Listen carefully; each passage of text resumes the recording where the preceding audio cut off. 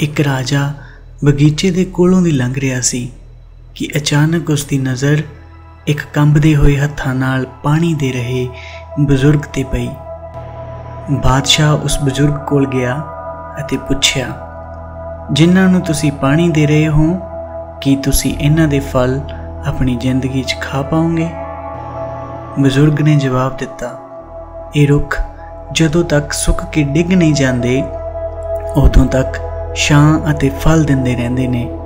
ਅਜਿਹੇ ਵਿੱਚ ਇਹਨਾਂ ਦੇ ਪਰ ਉਪਕਾਰ ਦਾ ਮੁੱਲ ਮੋੜਨ ਲਈ ਕੀ ਸਾਡਾ ਇੰਨਾ ਵੀ ਫਰਜ਼ ਨਹੀਂ ਬਣਦਾ ਕਿ ਅਸੀਂ ਇਹਨਾਂ ਦੀ ਸੇਵਾ ਕਰ ਸਕੀਏ?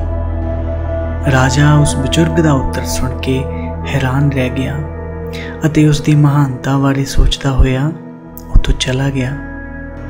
ਸੇਵਾ ਹਮੇਸ਼ਾ ਨਿਸ਼ਕਾਮ ਹੋਣੀ ਚਾਹੀਦੀ ਹੈ। ਇਸ ਨੂੰ ਕਰਦੇ ਹੋਏ ਕਿਸੇ ਤਰ੍ਹਾਂ ਦਾ ਲਾਲਚ ਮਨ ਵਿੱਚ ਨਹੀਂ ਹੋਣਾ ਚਾਹੀਦਾ। ਧੰਨਵਾਦ।